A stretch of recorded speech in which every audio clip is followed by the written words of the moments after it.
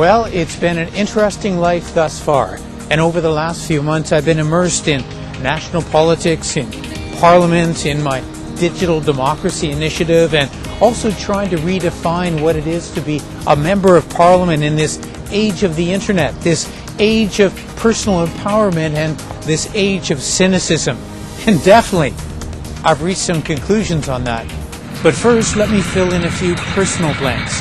Let's call it What Happened Before I Got Thrown Out of Caucus. Well, how you doing? I'm Garth, and welcome to Parliament Hill. Two threads seem to run through Garth Turner's life.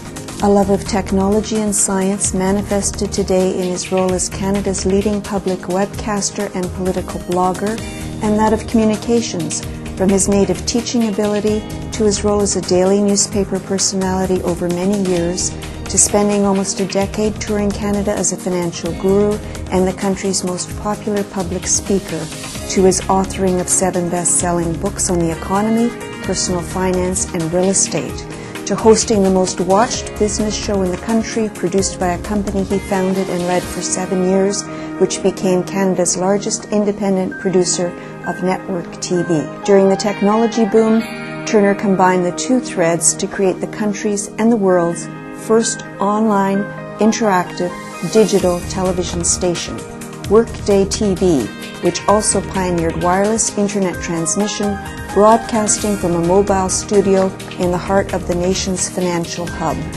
And through it all, or perhaps because of it, he became and has remained a controversial agent of change, challenging the traditional ways of doing business, media, and politics. So I've been a member of Parliament twice, and a cabinet minister, and a leadership contender, as well as a, a media guy, and a teacher, and a lecturer, and an entrepreneur, uh, and a career journalist, as well as an author. But you know, I think we've come to the point right now where we have a convergence of the public good and education and technology to the point which we've created something that has the power to change everything, even this.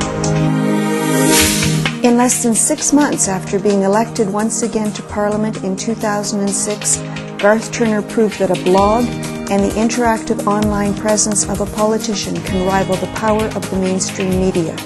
Using a journalist's skill, Turner has created a daily journal of public life that is now routinely quoted from the front page of the Globe and Mail to publications around the world. Turner's online audience averages almost 2 million visitors a month and has spiked as high as a million hits a day. Yet the era of internet openness and democratic dialogue has come into open conflict with politics as usual. With his ouster from the conservative government of Stephen Harper, Garth Turner became the poster boy for questioning the old ways of doing things and the need for reform. It's a very difficult situation in which to operate, and it's difficult to speak out. I'm the poster boy for that. Garth Turner now sits as an independent MP and is seen by many people as an example of direct democracy at work, a new nonpartisan approach in which direct communications with the people has created what's now called the retail politician.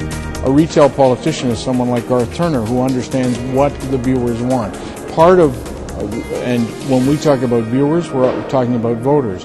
And part of the way this all works is that if you know what your audience is interested in and can provide them with an answer, then you've made that connection.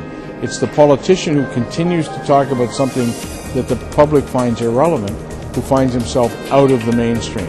So it's important to listen, to hear what concerns the public, to understand what motivates the public, and then provide an answer. Maybe not everything they want to hear, but provides an answer that at least indicates that you're paying attention to where their concerns are.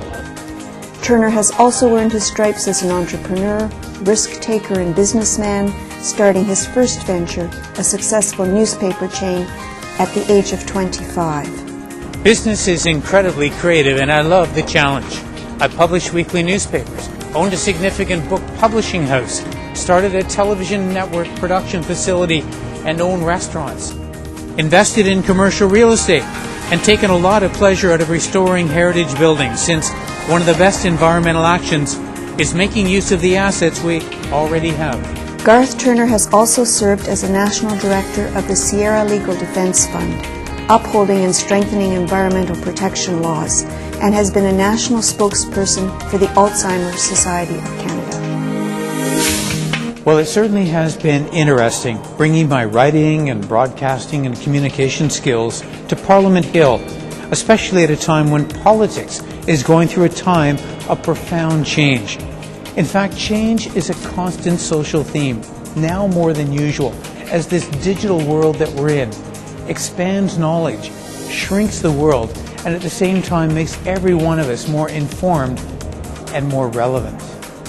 The generation we're training now is the first truly online one who will apply this digital view of the world to public life, the new media, and business, taking them into careers where borders, time zones, and conventional wisdom are all challenged and all likely overcome. I know some people find me controversial, others challenging. I, I have no regrets about that. In fact, I'm proud of it. Today, public life, media, communications, technology, they're all converging in a way that we just haven't seen before, which makes it a thrilling time to be involved and an honor to be driving it.